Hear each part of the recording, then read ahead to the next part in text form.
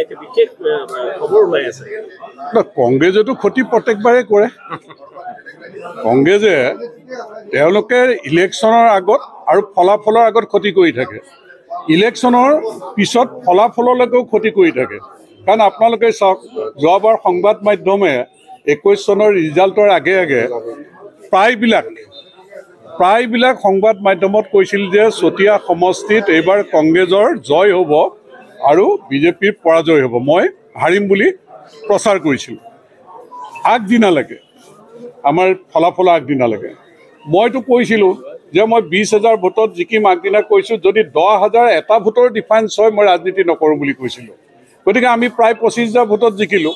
গতিকে কংগ্ৰেছৰ অংকটো সদায় ৰিজাল্টৰ আগে আগে আপোনালোকে চাব ভূপেন বৰা ডাঙৰীয়াই ৰিজাল্টৰ আগত মহাভৈৰৱত যেতিয়া ৰাজস্থান ছত্তীশগড় মধ্যপ্ৰদেশৰ ৰিজাল্টৰ আগত কি কৈছিল কংগ্ৰেছ অফিচত মাংস উতলি আছিল নে নাই?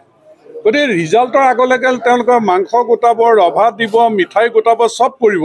ৰিজাল্টৰ পিছত যেনেকৈ দিচাং ৰিজৰ্টত তেওঁলোকে একৈছ চনৰ নিৰ্বাচনৰ আগত ৰিজাল্টৰ আগত তেওঁলোকে তাতে সাঁতুৰি নাতুৰি থকা নাছিল জানো? তেওঁলোকে শপত ল'ব। আমি তেওঁলোকৰ এই কুচকাবাজ দেখি অলপ আমাৰ মানুহ শংকিত হৈছিল। কিন্তু আমি গৈ পেলাই দিছপুৰ পালোঁ তেওঁলোক দিচাঙৰ পৰাই ঘূৰি আহিল। গতিকে এইবাৰো চাব শোণিতপুৰৰ এই ছিটটোত অভিলেখ সংখ্যক ভোটত ৰঞ্জিত দত্ত জয়যুক্ত হ'ব আৰু মোৰ চেষ্টা থাকিব ৰাইজৰ আশীৰ্বাদ লৈ নদুৱাৰ সমষ্টিত আমি এক লাখৰ ওপৰত ভোট দিবলৈ মোৰ চেষ্টা থাকিব।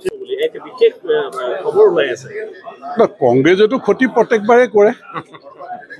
কংগ্ৰেছে তেওঁলোকে ইলেকশ্যনৰ আগত আৰু ফলাফলৰ আগত ক্ষতি কৰি থাকে। ইলেকশ্যনৰ পিছত ফলাফললৈকেও ক্ষতি কৰি থাকে। কাৰণ আপোনালোকে চাওক যোৱাবাৰ সংবাদ মাধ্যমে একৈছ চনৰ ৰিজাল্টৰ আগে আগে প্ৰায়বিলাক প্ৰায়বিলাক সংবাদ মাধ্যমত কৈছিল যে চতিয়া সমষ্টিত এইবাৰ কংগ্ৰেছৰ জয় হ'ব আৰু বিজেপিৰ পৰাজয় হ'ব। মই হাৰিম বুলি প্ৰচাৰ কৰিছিলোঁ। আগদিনালৈকে আমাৰ ফলাফলৰ আগদিনালৈকে।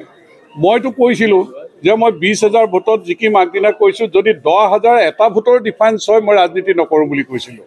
গতিকে আমি প্ৰায় পঁচিছ হাজাৰ ভোটত জিকিলোঁ।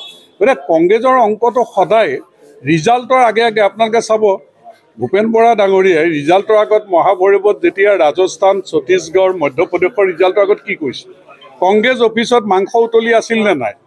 গতিকে ৰিজাল্টৰ আগলৈকে তেওঁলোকে মাংস গোটাব ৰভা দিব মিঠাই গোটাব চব কৰিব।